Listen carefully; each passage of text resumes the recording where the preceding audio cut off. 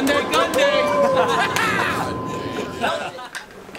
Hey everyone, this portion of Sunday Gunday is brought to you by Euro Optics. I have had a very pleasant experience dealing with Euro Optics and it was around the time that I did a video on this guy right here, my mini fix from Q. I was searching everywhere online for a very specific optic. I was checking out local shops and I could not find what I was looking for anywhere. That wasn't until I went over to Euro Optics website and I found this right here, my Nightforce NX8 1 to 8 optic Love this thing, and they happen to have it in stock. I found out through their website that they're veteran owned and operated, and they were only like an hour and a half from me at the time being in Pennsylvania. So I made my way up to their shop. They have a beautiful spread of basically everything you could possibly imagine, of course, optics. Now, if you're not local to them, you can also check out their website. Their inventory is in real time, and anything listed as in stock is in stock. There are no drop shipping games when it comes to Euro Optics. They ship all orders same day, so they have the stuff, they ship it fast, and it gets to you fast. So in the future, if you're looking for anything kind of niche and very specific, check out EuroOptic.com. And thanks again to them for sponsoring this portion of Sunday Gunday.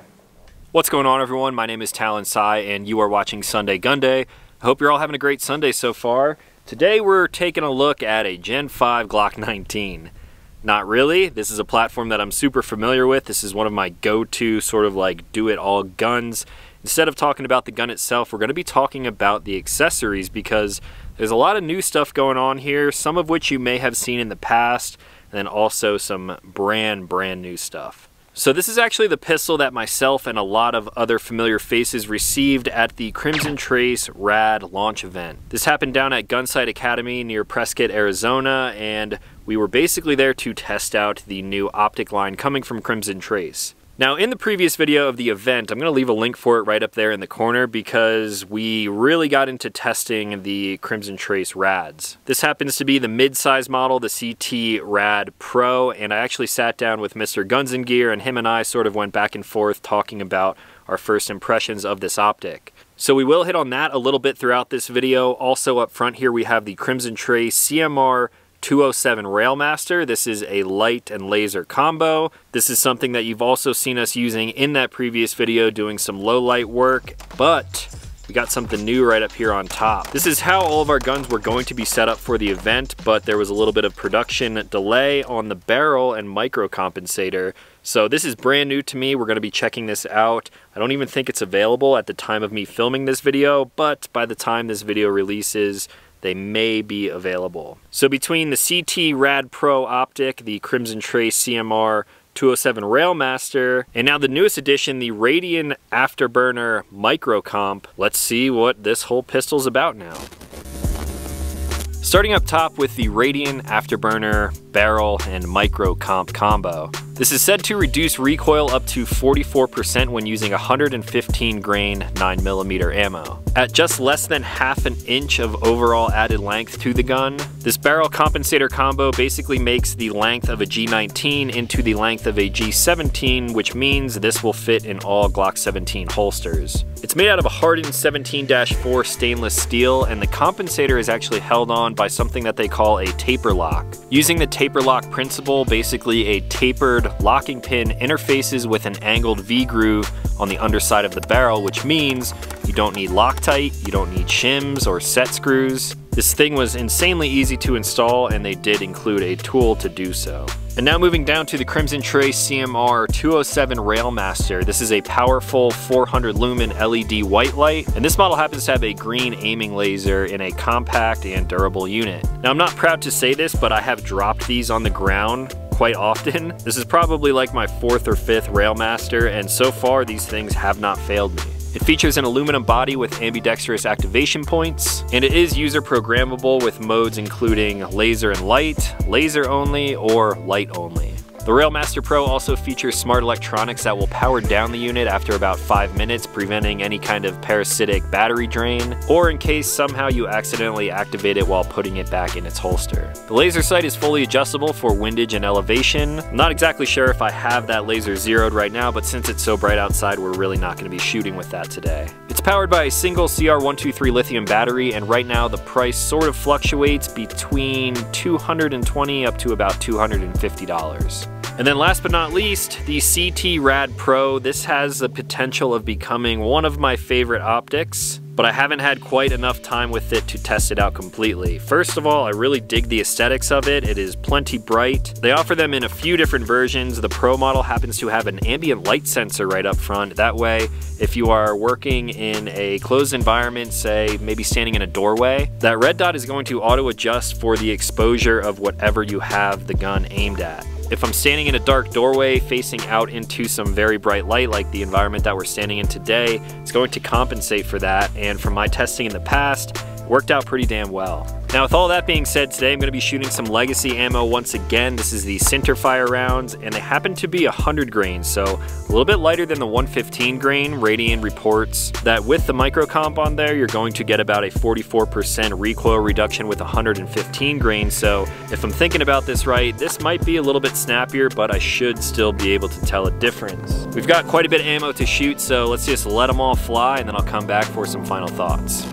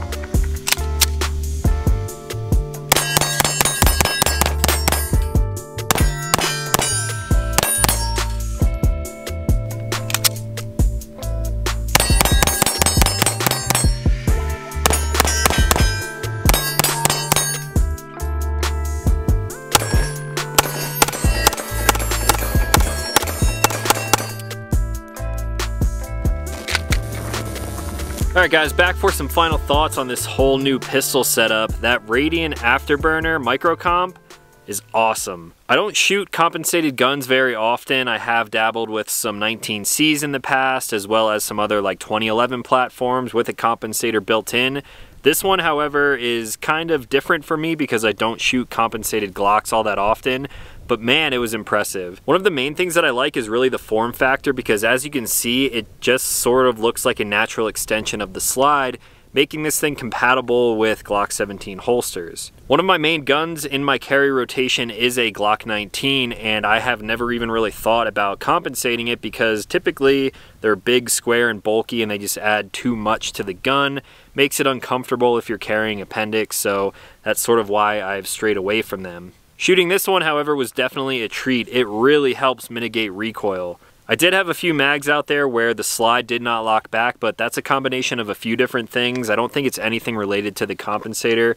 Mainly my grip, I grip the shit out of Glocks like super high. And also we were shooting that 100 grain ammo as opposed to 115 or anything even heavier than that. So that was probably why that was doing it. But man, felt recoil reduction was insane on this thing. It looks really good, super easy to install, no Loctite, and I'm definitely a big fan of this. As far as the CT Rad Pro, it did great out here in the super bright sunlight. I know everything's kind of overexposed and insane right now, but I had no problem picking up the target even back here at about like 25, 30 yards. I love the form factor and actually the aesthetics of this optic too. When you couple a nice optic with a really wide window like this with a compensator, it just made me want to shoot fast. As long as you have good fundamentals down and you hold that dot right on the target where you're intending to aim, with the help of that compensator on the end there, that dot just tracks almost completely straight. It doesn't actually leave the field of view at all. If you couple the compensator with a good optic and then even a really nice trigger, this is just a stock Gen 5 trigger, it's okay. But if you threw something in there like an Apex trigger, man, you'd be able to shoot the hell out of this thing really fast, very accurate. And overall, this is a pretty cool modified Glock now. Like I mentioned earlier, if you guys want more of my thoughts on the CT Rad Pro line or even the Railmaster up front here, check out that previous video where we were actually shooting these in the dark, using the lasers, using these things indoor and outdoor. It's a pretty cool setup. This is not something that I would traditionally go with, but I dig everything on here so far and I might have to dabble in compensated guns a little bit more. One other thing to note is that if you're shooting from retention, something like a Glock 19C that's compensated through the actual slide and barrel, you're getting like the blast up in your face even when I was shooting something like my Viper 2, you can feel that concussion and you can see the smoke flying out of the top of the compensator. This one, however, felt just like a normal Glock. I didn't feel any blowback or anything. Shooting from retention would probably suck because you're so close to that, but it was very mild concussion. I don't think it would mess up like my night vision at all. And at the same time, completely gets rid of that recoil. This thing shot great. So if you guys have any questions on anything that you saw here between the optic, the light, or the compensator, let me know in the comments down below. Huge thank you to everyone who supports the channel over on Patreon. I would not be out here making these videos if it wasn't for the support from you guys. So if you're interested in these videos, you want to show the channel support or just support Sei Productions, my main channel, and everything else that I do, check us out over there on Patreon. And you can get these videos a week in advance, sometimes even a month in advance. So huge thanks to everyone over there on the Patreon squad. That's all that I have for today, so if you're new here, consider clicking subscribe and make new videos occasionally. As always, thanks for watching. I'll talk to you in the next one.